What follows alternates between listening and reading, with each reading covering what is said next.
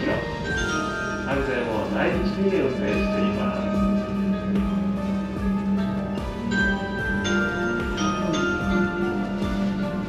進行方向左手にご覧いただけます。全山緑に覆われた立山には地名の由来となっております。曹洞宗関山寺がございます。関山寺の上には高さ約16メートルの観音様もご覧いただけます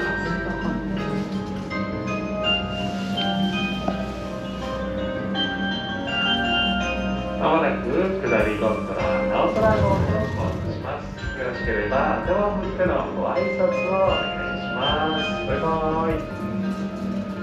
はいありがとう。ございます交差する地点が遊園地の足元に開けております浜名湖はその昔大ドラゴン地という伝説上の巨人が左手をついてできたという言い伝えがあり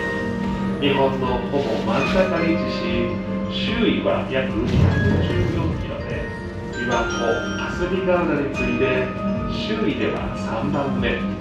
面積では10番目に数えられている湖です。大草山山頂には浜名湖オルゴールミュージアムがございます1階オルゴールショップにはお気に入りの曲やパーツで自分だけのオルゴール作りが楽しめる体験工房が2階3階ではスタッフが実演を解説するコンサートが行われていますなお入館券をお持ちのお客様は期間限定のクリスマスイベントを実施しておりますぜひお楽しみください屋上展望台では空港名義や浜名湖を一望いただけます。どうぞ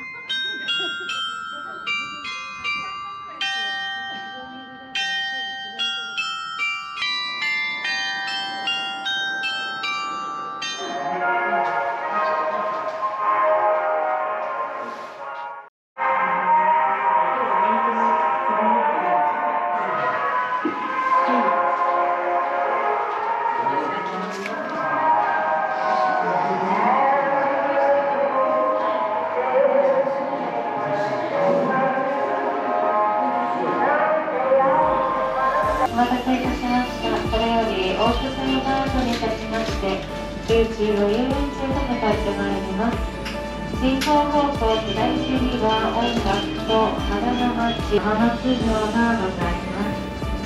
それではこの辺りで進行方向右手より上りゴンドラが来ます。ゴンドラが交差いたしますお役でありがとうございます。